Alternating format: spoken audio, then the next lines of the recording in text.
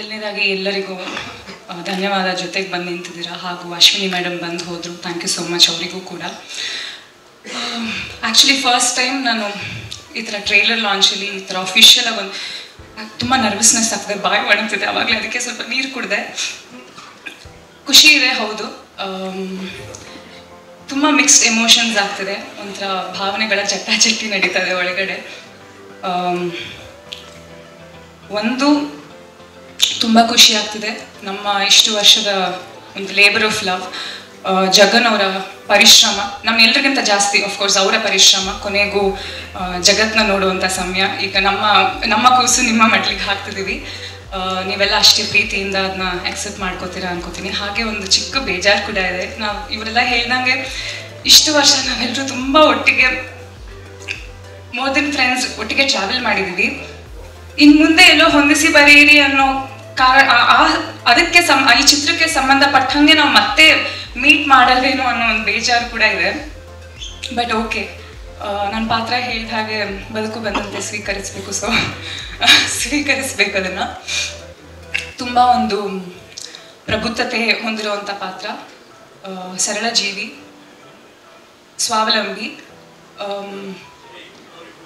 ಬದುಕಿನ ಎಲ್ಲ ದ್ವಂದ್ವಗಳನ್ನ ಸಮಚಿತ್ತದಿಂದ ನೋಡುವಂಥ ಪಾತ್ರ ಪಲ್ಲವಿ ಕ್ಯಾರೆಕ್ಟರು ಹಾಗೂ ಮಿತ ಭಾಷೆ ತುಂಬ ಕಡಿಮೆ ಮಾತಾಡ್ತಾಳೆ.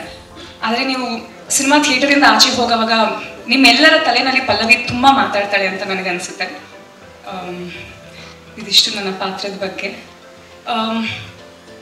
ಇಡೀ ಹೊಂದಿಸಿ ಬರೆಯಿರಿ ಚಿತ್ರದ ಸಾರಾಂಶ ಹಾಗೂ ಪಲ್ಲವಿಯ ಬದುಕು ಬಂದಂತೆ ಸ್ವೀಕರಿಸು ಬದುಕಿಸು ಮನೆ ಅನ್ನೋ ಒಂದು ಫಿಲಾಸಫಿ ಏನಿದೆ. ಒಂದ್ ಇಷ್ಟು, ಒಂದ್ ಕೆಲವು ದಿನಗಳ ಹಿಂದೆ ನಾವು ಹುಷಾರಿಲ್ಲ ಹಾಗಾಗಿ ಅವಾಗಷ್ಟೇ ನಾನು ಜಸ್ಟ್ ಮಂಕುತಿಮ್ಮನ ಕಗ್ಗಗಳನ್ನ ಕೇಳೋದಕ್ಕೆ ಶುರು ಮಾಡಿದೆ. ಅವಾಗ ಇವರು ಹೇಳಿದ್ರು, ಎಲ್ಲಾದ್ರೂ ನಿಮ್ಗೆ ಅನ್ಸಿದ್ರೆ ಹೇಳ್ಬೋದು ಅಂತ ನವೀನ್ ಅವರು. ಅದು ಕೇಳುವಾಗ ನನಗೆ ಅನ್ನಿಸ್ತು ಬಟ್ ಬಟ್ ನನಗೆ ಕರೆಕ್ಟಾಗಿ ನೆನಪಿಲ್ಲ. ನಿಮ್ಮಲ್ಲಿ ತಿಳಿದವ್ರು ಯಾರಾದ್ರೂ ನಾನು ತಪ್ಪಾಗಿ ಹೇಳಿದ್ರೆ ಕರೆಕ್ಷನ್ ಮಾಡಿ. ಆ ಕಗ್ಗ, ಆ ಒಂದು ಪರ್ಟಿಕ್ಯುಲರ್ ಕಗ್ಗ ನನಗೆ ಹೊಂದಿಸಿ ಬರೆಯಿರಿ ಕಥೆಯ ಸಾರಾಂಶಕ್ಕೆ ತುಂಬಾ ಸೂಕ್ತ ಅಂತ ಅನ್ನಿಸ್ತು ಸೊ ಹಾಗಾಗಿ ಅದನ್ನೊಂದನ್ನು ಹೇಳ್ತಾ ನಾನು ಮಾತನ್ನು ಮುಗಿಸ್ತೀನಿ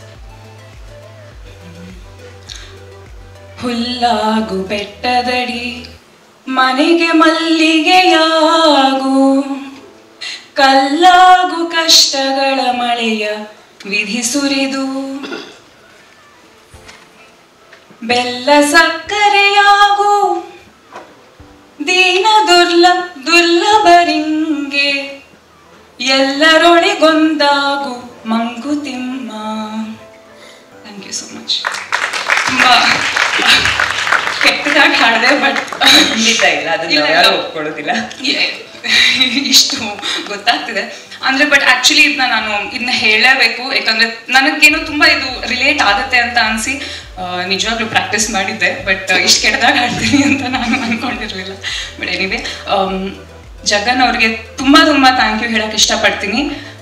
ಪಲ್ಲವಿ ಅಂತ ಕ್ಯಾರೆಕ್ಟರ್ನ ನಾನು ಕೊಟ್ಟಿದ್ದಕ್ಕೆ ಲೈಫ್ ಲಾಂಗ್ ನಾನು ಮರೆಯೋದಿಲ್ಲ. ತುಂಬಾ ನನಗೆ ಮನಸ್ಸಿಗೆ ಹತ್ತಿರವಾದಂಥ ಪಾತ್ರ. ಹಾಗೆ ಇಷ್ಟು ಜನ ನನಗೆ ಸ್ನೇಹಿತರನ್ನ ಈ ಸಿನಿಮಾ ತಂದು ಕೊಟ್ಟಿದೆ.